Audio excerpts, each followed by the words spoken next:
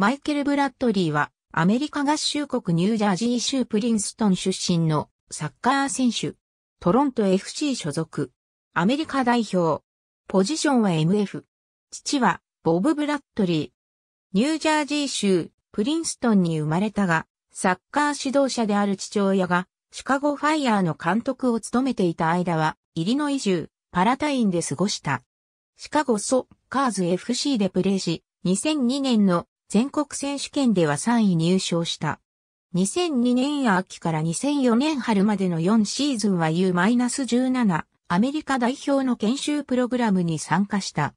2004年の MLS ドラフトで、ジップのボブ・ブラッドリーが率いるメトロスターズに全体13位で指名された。デビューシーズンは足の負傷により全く試合に出場することができなかったが、2005年にレギュラーポジションを獲得し、32試合中30試合に出場した。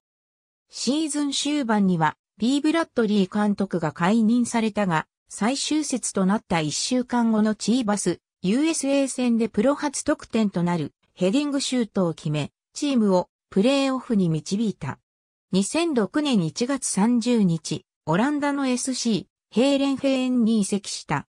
4月16日の AG アルクマール戦で初めて先発出場すると、それからは先発出場の機会が増え、UEFA カップ出場権獲得に貢献した。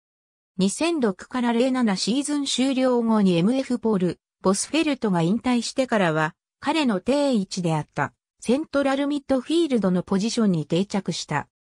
2007から08シーズンは、リーグ戦での16得点を含めて、すべての大会で20得点を挙げ、ブライアン・マクブライドがイングランドのフラム時代に達成した記録を破り、アメリカ人選手がヨーロッパのトップリーグで記録した1シーズンの最多得点記録を破った。2008年8月31日、ドイツのボルシア・メンヒエングラートバッハと4年契約を結んだ。移籍金は公開されていない。イングランドのバーミンガムシティに移籍する予定だったが、バーミンガムシティがフロリダチャンピオンシップに降格したために取りやめられたことが後に明らかにされた。9月20日のヘルタ・ベルリン戦でブンデスリーガデビューし、11月15日のバイエルン・ミュンヘン戦で80分にヘディングで移籍後初得点となる同点弾を決めた。2009から10シーズン序盤にはミハエル・フロンツェック監督と口論になって、しばらくの間メンバーから外されたが、その後二人は和解し、ブラッドリーは再びスタメンで出場した。バイエルン戦では、ワンタッチボレーのパスで得点をアシストし、さらに、ハノーファー96戦では、低い弾道の直接フリーキックで決勝点を挙げた。2011年1月30日、イングランドのアストンビラに、シーズン終了までの契約でレンタル移籍した。しかし、ビラでは出場機会に恵まれず3試合の出場に止まった。5月12日にレンタル期限満了でボルシア・メンヒエングラートバッハに復帰。2011年8月30日、イタリアの AC キエーボ・ベローナ移籍。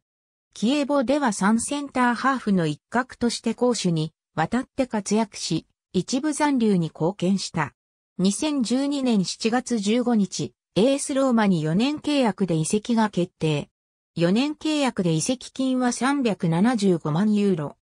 2014年1月9日、出場機会を求めてトロント FC に移籍し、8年ぶりに MLS に復帰した。移籍金は1000万ドル。2006年、FIFA ワールドカップドイツ大会に向けてノースカロライナ州カリーで行われたアメリカ代表のトレーニングキャンプに参加した。5月26日のベネズエラ戦で途中出場して代表初キャップを刻み、そのすぐ後のラトビア戦でにキャップ目を刻んだが、本大会出場メンバーからは外れた。2006年末には、ジップのボブがアメリカ代表監督に就任し、マイケルはそのチームの中で重要な選手としての地位を確立した。2007年5月28日のグアテマラとの親善試合で初めて先発出場した。コンカカーフゴールドカップでは、レギュラーとして出場し、準決勝のカナダ戦では、レートタックルで退場処分を受けたが、それまでの活躍でアメリカ代表を優勝に導いた。FIFA U-20 ワールドカップでは、すべての試合に出場し、ベスト16のウルグアイ戦では107分に決勝点を決めた。2007年10月17日のスイスとの親善試合でアメリカ A 代表としての初得点を記録した。これらの活躍で2007年のアメリカ最優秀若手アスリートに選ばれた。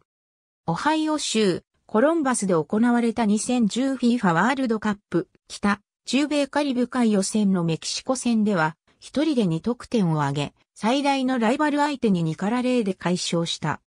2009年に出場した FIFA コンフェデレーションズカップ2009ではグループリーグのエジプト戦で MF ランドン・ドノバンからのパスを受けて63分に得点し、エジプトを3の0で破って準決勝に進出した。準決勝のスペイン戦では優勝候補を2から0で破る金星を挙げたが、自身はレッドカードにより退場処分を受けた。2から3で敗れた決勝のブラジル戦には出場できず、また同年のコンカカーフゴールドカップで3試合の出場停止を消化する必要があった。2010年には FIFA ワールドカップ南アフリカ大会に出場し、6月18日のスロベニア戦で代表8得点目を決めた。8月10日のブラジル戦では初めて代表キャプテンを務めた。2014年には FIFA ワールドカップブラジル大会に出場した。ありがとうございます。